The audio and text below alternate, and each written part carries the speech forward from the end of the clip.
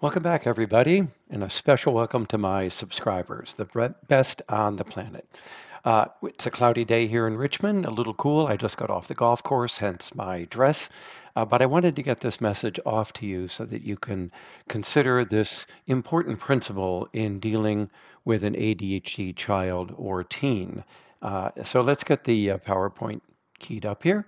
And that is the idea of the need to talk a lot less to your children or teen and instead used more abbreviated speech and more physical contact in order to make a connection to your child or teen and to get your point across. So, as the slide indicates, shut up. Stop talking so much and instead shorten your message and make it much more influential by having some physical contact with your child. Now, why do I think this is important? First of all, we've done a lot of research on the family interactions of children and teens with ADHD. And what we find among a variety of differences in these families is that parents talk too much to a child who has an executive function disorder, an attention deficit disorder, who isn't going to be paying much attention to a lot of verbiage, and a child who has a performance disorder, as I talk about in my other lectures. So ADHD is not information deficit disorder. It's not a problem with knowing what to do. So giving more information, giving more knowledge, talking at your child, nattering, nagging, reminding, and just throwing verbiage at them isn't going to get them moving when it comes to getting tasks done or following through on their promises and commitments. So stop talking so much.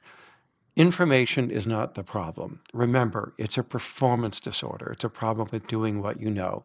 So we need to find a way to get the information you want across to the child in a more effective way than just throwing a lot of verbiage. And I know sometimes the reason for the excess language by parents is that the parents have the same disorder as the child. And excessive talking is often part of the ADHD symptom presentation. But even in the many families where the parents don't have ADHD, they still seem to talk a lot more to their kids and teens.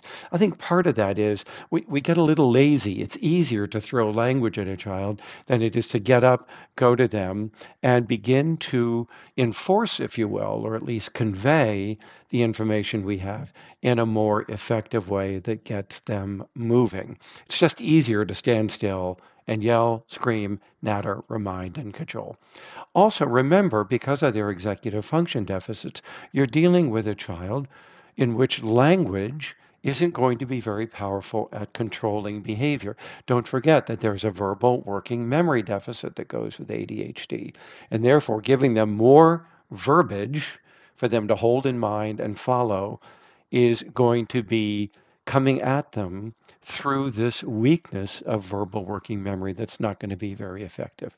So, because of that, I want you to talk less and touch more.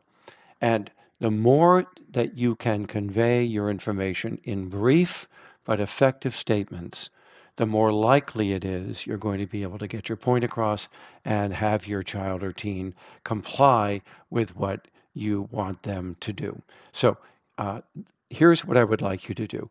Now, rather than talking so much, instead go to your child, put your arm around them or put your hand on their wrist or arm, affectionately, to get their attention. So you go to them, you make contact with them, but in a gentle, affectionate way. This gets their attention. It also communicates concern and intimacy.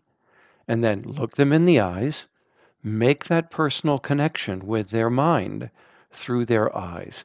Think Clint Eastwood level of eye contact and confidence. Briefly, Say what you want to say. Keep it very short. Is it an instruction, a reminder, praise, or a reprimand? Whatever it is, keep it short, keep it sweet, get to the point. And if you'll do that while you're making contact with them, it's more likely that your information, your language is going to get into their mind and have a more powerful effect on changing their behavior. So go to them, have contact with them, look them in the eye, say what you want to say, keep it short and businesslike. If you need to, have them repeat it back to you if it's a longer chore or a longer request, maybe you can give it to them on a three by five file card that lists the steps of what you're asking them to do, like clean their room, for instance. But otherwise, just a short, direct statement is enough. I think you'll find that this will get your information over to them a lot more effectively than a lot of talking, yelling, nagging, and cajoling them is likely to do. I hope you find this tip useful in raising your child or teen with ADHD. Please join me again later this week for another video on dealing with ADHD. Thanks so much and be well, everybody.